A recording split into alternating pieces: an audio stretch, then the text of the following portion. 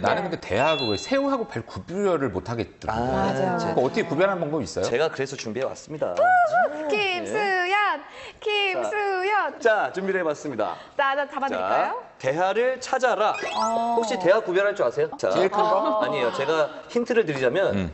여러분들이 여태, 여태까지 먹어왔던 대부분의 대하들은 다 아마 양식일 가능성이 높아요. 자, 그렇게 생각하면 조금 내가 먹었던 거랑 좀 비슷하다 싶은 거를 찾아보시면 좋을 것 같아요. 세 개가 너무 비슷해. 난 저는 사실 크기만 일번? 좀 틀린가? 1번 요거 많이 드셨어요? 네. 왕자님은? 저는 제일 익숙해. 나는 나는 항상 큰 거 먹었어요. 큰 거요. 여기서 제일 큰 주방장 거면 아저씨가 항상 직접 갖고 오니까. 사진적으로는 얘네요. 얘가 제일 크네요. 1번 중에 한 세 번째 거.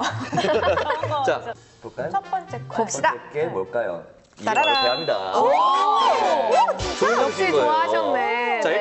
지금 화면 속에서 보이는 걸로 따졌을 때는 뭐냐? 색깔이 조금씩 다르죠? 네. 네. 약간 이게 조금 연해요, 색깔이. 회색 빛을 띠지만 좀 연하고 요게 아마 일반인들이 좀 많이, 저도 그렇지만 전 요게 대한 줄 알았거든요. 음, 저도 가장 많이 줄 먹었어요. 이게 바로 흰다리 새우입니다. 새우. 네, 그러니까 양식인 거죠. 그리고 얘는 저는 운천을 봤는데, 처음 봤는데 이게 보리새우라고 해요. 보리지네요. 네. 그래서 이렇게 세 가지가 조금 다르고.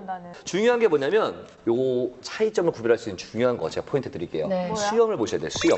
수염? 수염? 이 일단 대하는 그 몸통보다 한두 배에서 세 배, 많게는 네 배까지 길대요. 이게 길면 길수록 싱싱한 거고, 얘또좀 약간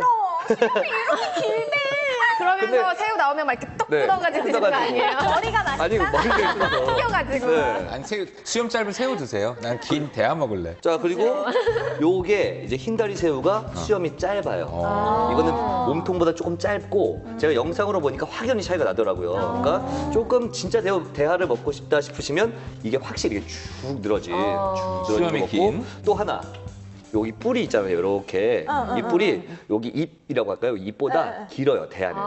그리고 흰다리 새우는 살짝 짧아요. 요 새우 나오면 앞으로 막 이렇게 세야지 이렇게 돋보기 봐야 돼. 들고 네, 이렇게 아마 요거 때문에 시장에서 좀 싸움이 될 것 같긴 한데. 이거 흰색 흰다리 새우 아니야? 대하 맞아요? 막 이래야 될 것 같아. 양식 아니에요, 네. 양식? 그러니까 요거 기억해 주시면 좋고. 수염이 뭐 건강 상태랑 그렇죠, 그렇죠. 상관이 있다면서요? 그러니까 이게 길면 길수록 싱싱한 거고 아. 얘가 스트레스 받으면 이걸 자른대요. 그래서 조금 오래되거나 얘가 좀, 어, 좀 상태가 안 좋을 때는 이게 짧아진다고 하더라고, 하더라고요. 그러니까 대하라고 하더라도 수염이 조금 짧을 수 있는데 결국은 그렇게 싱싱하지 않은 거기 때문에 긴 걸로 긴데요, 그리고 수염이 긴. 뿌리 긴 거. 그러니까 긴 애들이 깔끔하다.